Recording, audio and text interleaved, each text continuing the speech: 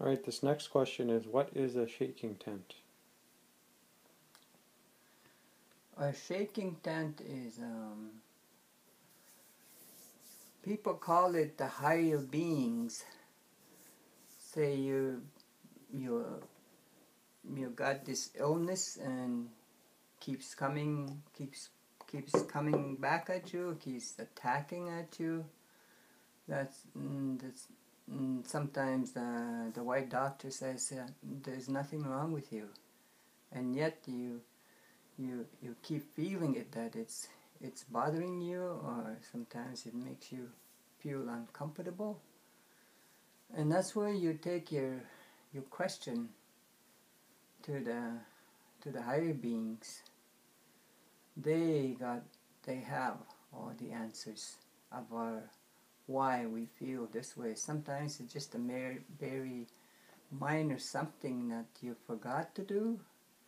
Let's say um, you um, you got a bleeding nose all the time and you don't know why you you have the this bleeding nose. Often that happened to one of my my grandchild.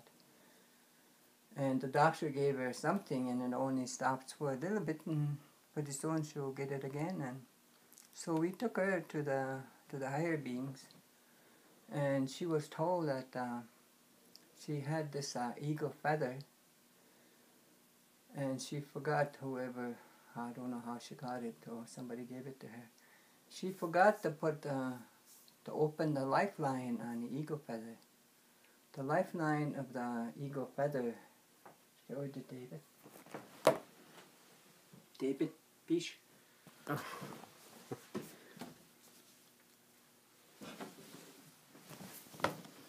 It doesn't matter what the, what size the eagle feather is. The lifeline of the eagle feather is this this little thing there. See this one is open at the bottom.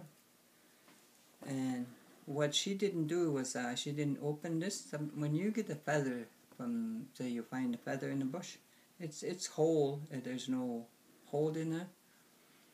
So you you make you make sure this uh, this lifeline is is open and sometimes that's why you you feel this that uh, you your your your head is uh, clogged and sometimes the blood gushes out because it, it builds up in there.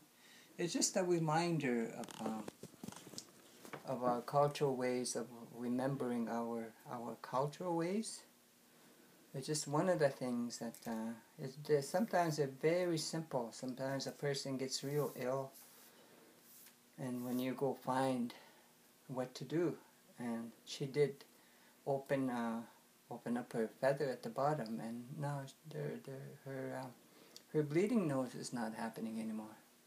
So they're very simple things.